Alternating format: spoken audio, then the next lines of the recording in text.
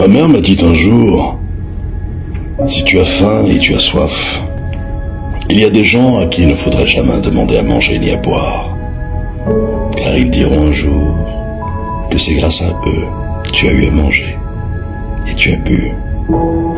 J'aimerais vous dire ceci. Soyez comme un manguier. On lui jette des pierres, on prend un bâton, on le frappe, afin de recueillir ses mangues. Lorsqu'il fait chaud, on s'assoit sous son ombre.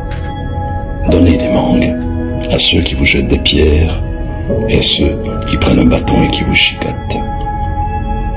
Le vent finira par souffler, la tempête finira par passer, mais le manguier enraciné restera et ne bougera, point. Donnez à ceux qui vous jettent des pierres, mais surtout, avancez.